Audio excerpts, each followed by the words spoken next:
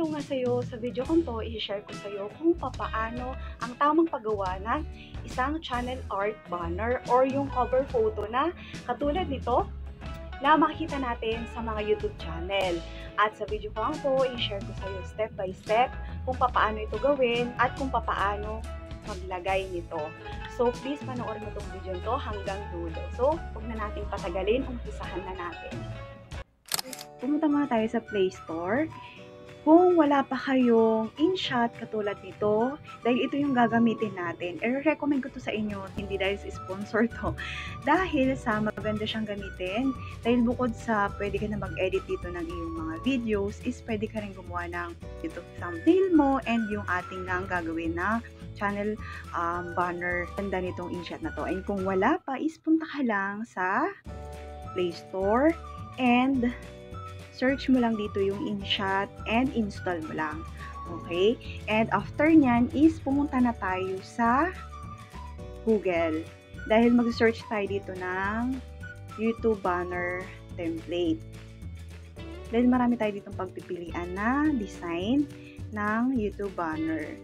So, depende sa'yo kung ano gusto mo, kung aesthetic lang or um, ito, maraming design, makulay. Depende sa'yo. So, for example, ito. So, ilong press mo lang siya and download image. So, masasave na yan sa ating phone gallery. Okay? So, after nyan is punta na tayo sa InShot Editor.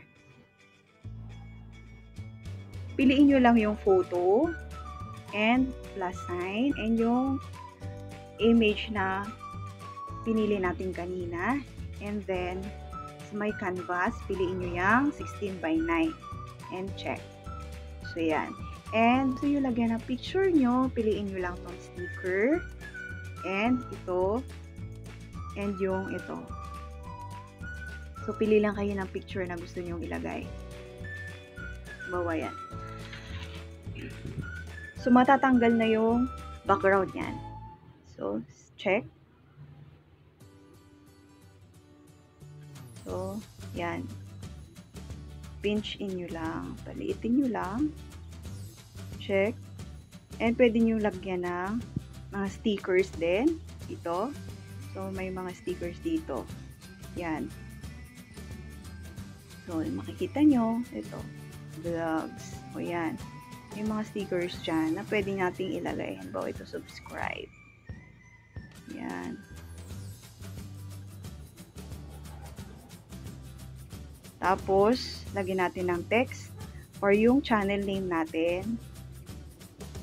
Simply, yan. Okay. Yan. And, so, pwede mo i-edit yan, edit, and pwede mo palitan ng colors, kung gusto mo, or ito, and font.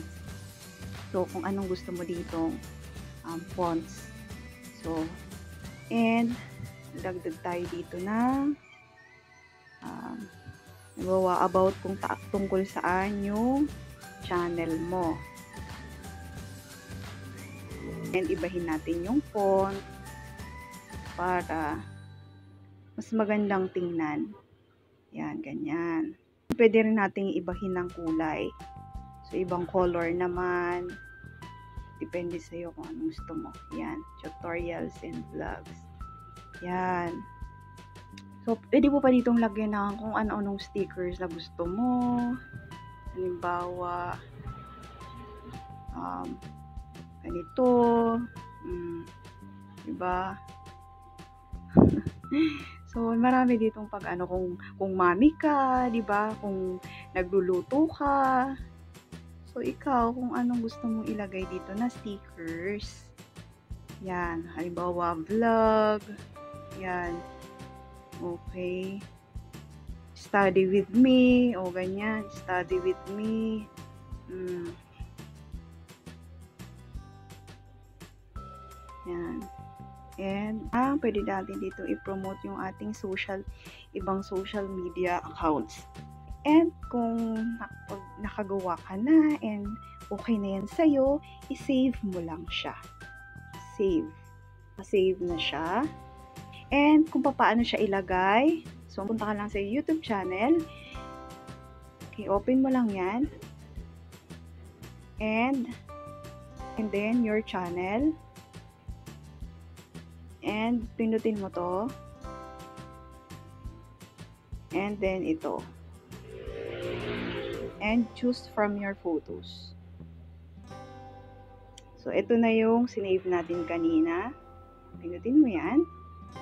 Yan. And, i-pinch in mo lang siya. Yan. O, diba? Kasing size na siya. Ito yung nakikita sa TV. Ito yung nakikita sa desktop. Ito yung all devices. Sa cellphone. O. So, yan. So, i-save mo lang. So, yan. Channel banner updated successfully. So, okay na. So, tingnan na natin. Yan. So, yan. Okay na. So, I hope nakatulong sa iyo ang video to and kung oo, kindly like this video and subscribe to my YouTube channel for more YouTube tips, tutorials, and updates. So, maraming salamat po sa panonood and see you again sa aking next upload. Bye!